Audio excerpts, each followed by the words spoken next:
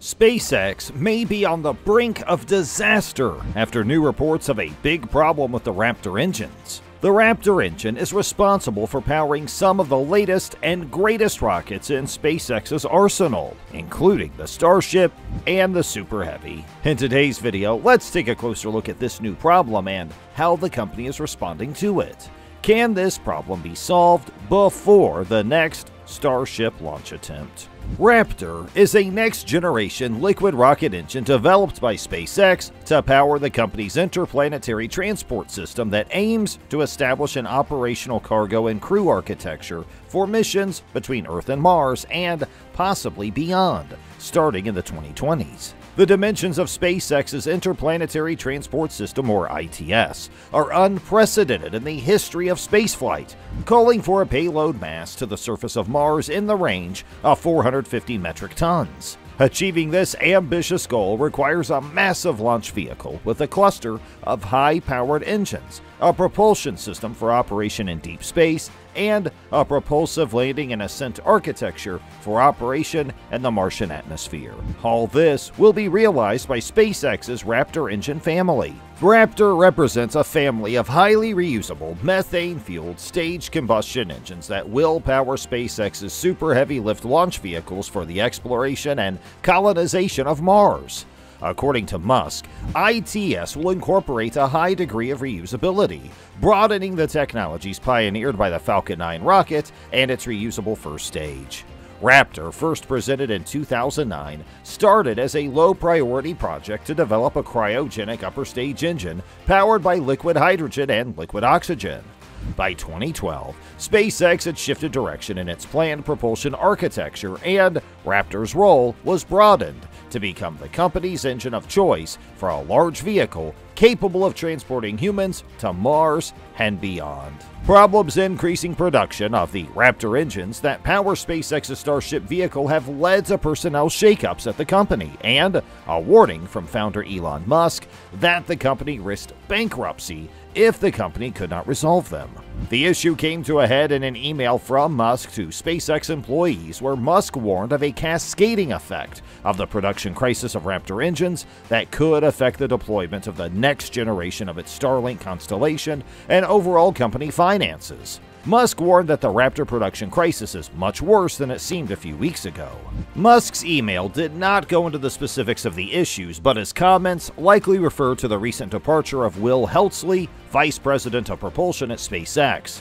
Heltsley, who had been at SpaceX since 2009 and in the role of Vice President of Propulsion since 2018, left amid problems scaling up the production of Raptor.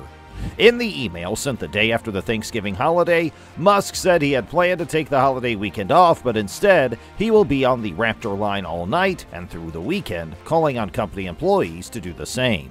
SpaceX needs to produce large numbers of Raptor engines for its Starship vehicle, whose first orbital flight could take place as soon as January. The Starship vehicle itself uses six Raptor engines, but its Super Heavy booster needed for orbital launches currently has 29 engines.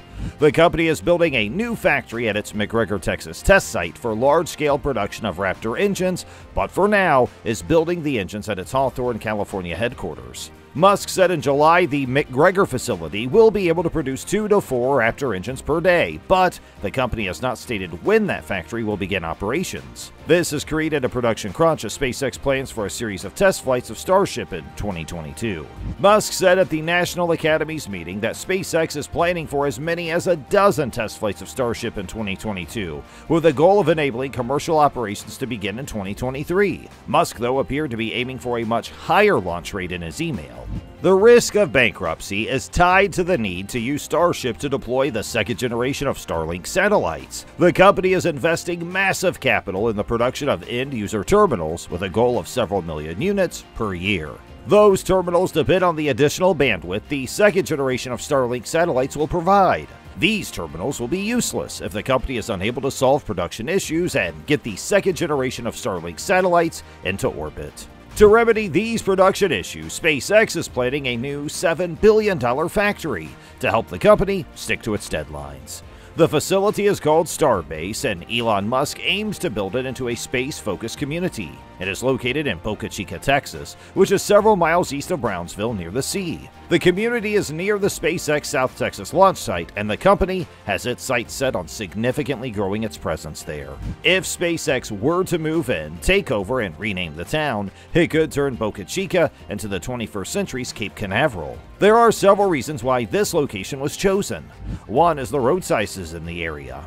SpaceX designed the Falcon 9 from the ground up so that it is transportable by U.S. interstates. The Falcon 9 diameter is 12 feet because U.S. freeway lanes are 12 feet wide.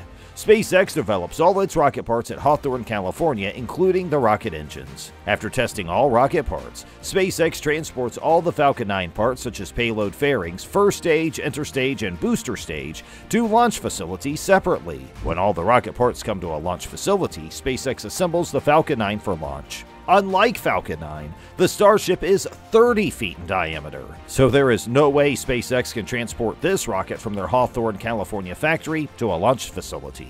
Musk knew he had to build their Starship at the launch facility. SpaceX does not own any of the three launch facilities. It currently has lease agreements and pays millions of dollars monthly to the US government. Musk knew that if SpaceX owned a launch site, it would save them a lot of money. That's why they started to look for a location for a rocket manufacturing and launch facility.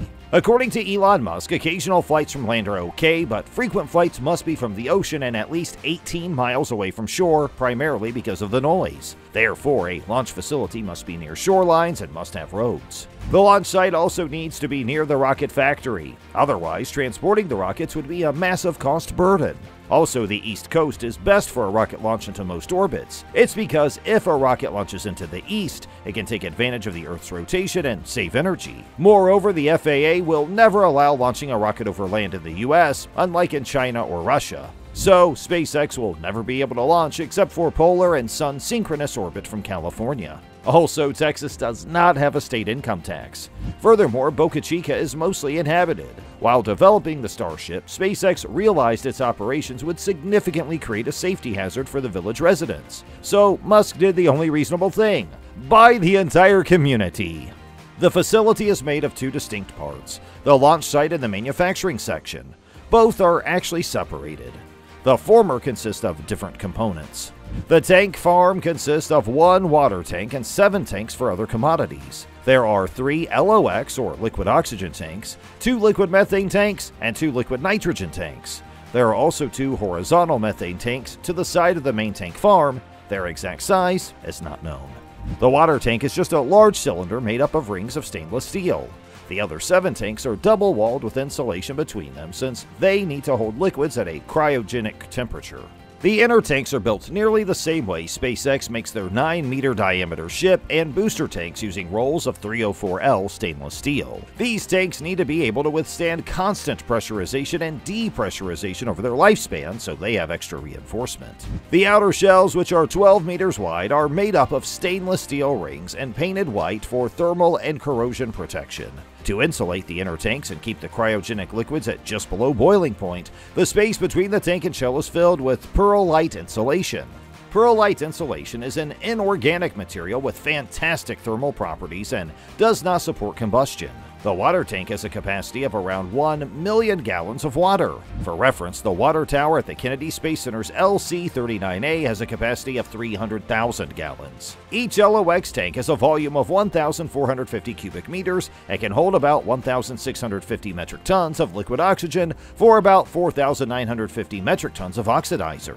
Each CH4 tank has a volume of around 1,680 cubic meters and can hold about 710 metric tons of liquid methane for 1,420 metric tons of fuel. Lastly, the LN2 tanks have a volume of 1,680 cubic meters each and can hold about 1,350 metric tons of liquid nitrogen for 2,710 metric tons.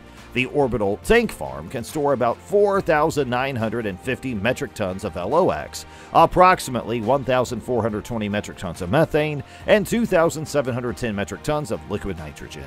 The entire rocket needs about 1,040 metric tons of CH4 and 3,760 metric tons of LOX. With these rough estimates, the orbital tank farm has enough propellant for just one orbital launch, with a margin left over for possible recycling. The approximately 2,710 metric tons of liquid nitrogen allow SpaceX to fully cryotest a booster. The propellants in these tanks will flow through subcoolers next to the tank farm to super chill the propellants. These subcoolers use the temperature of liquid nitrogen to chill the propellant so that they are denser, thus packing more energy into the vehicle. After traveling through the subcoolers, the propellants will be sent through the GSE bunker and then to the launch table and the integration tower. There is also the launch mount where the full Starship stack will sit before launch. It must be able to withstand at least 74.4 meganewtons of thrust, based on the 33 Raptor 2 engine booster configuration. The mount includes important components such as the hold down clamps, the quick disconnect for the booster, and the water deluge system for sound suppression. The launch table has 20 separate hold down clamps that attach to the bottom of the booster for static fires and launches from the orbital pad. For launches, these hold down clamps will release once all the engines on the booster are at nominal thrust. To fuel the booster before liftoff, the launch table needs a quick disconnect mount, which is on the top of the table and will disconnect from the booster around T0. The QD will help provide the booster with CH4, LOX, and helium and supply external power before launch. The water deluge system will spray water onto the bottom of the launch mount and on the ground to help lessen the sound waves of 29 and eventually 33 Raptors firing at full thrust so that the sound waves do not damage the rocket or the pad. Another component is the integration tower, which is a unique piece of hardware. Mechazilla, as named by Elon Musk, is about 145 meters tall and has the job of not only stacking the booster and Starship, but also catching them as they come in for landings. Mechazilla will do this using two arms that will lift or catch the booster from hard points between the grid fins. The Starship is lifted or caught from hard points right under the forward flaps. The arm's attached to a carriage. It connects to the tower on the column just under the pulley at the top of the tower and wraps around the two side columns for extra support. To be able to move up and down the tower easily, there are bearing skates that the carriage attaches to on the sides of each column on the top and bottom. The QD arm will supply the ship with methane, LOX, helium, and external power before launch. The QD arm has a single actuation point connected to the tower and allows the arm to move during launch and catch operations. The extension has a claw setup similar to the top of the Falcon 9 Strongback. This claw setup will hook up to the booster for stabilization. If you like this video, you may also be interested in this one, which talks about SpaceX's announcement of the next Starship launch date.